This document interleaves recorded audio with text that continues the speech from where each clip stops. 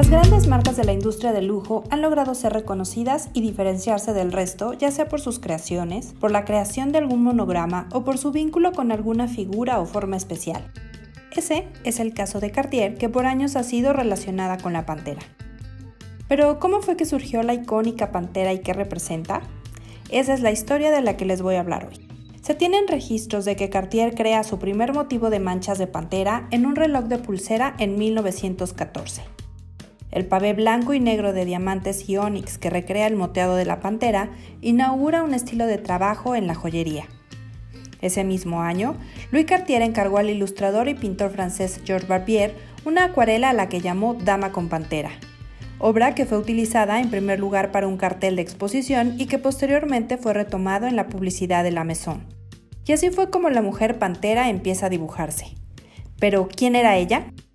Pues se sabía que era una mujer independiente, libre, femenina, salvaje y bella.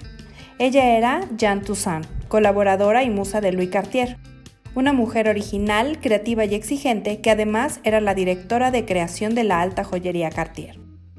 Entre las asiduas coleccionistas de las piezas Panther destaca la duquesa de Windsor, Barbara Houghton, la princesa Nina Aga Khan y por supuesto María Félix, apodada la Pantera Mexicana.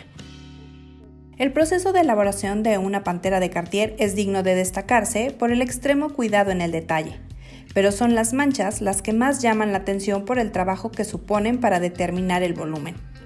Las formas de estas manchas son poligonales, triangulares o romboides, y nunca son iguales.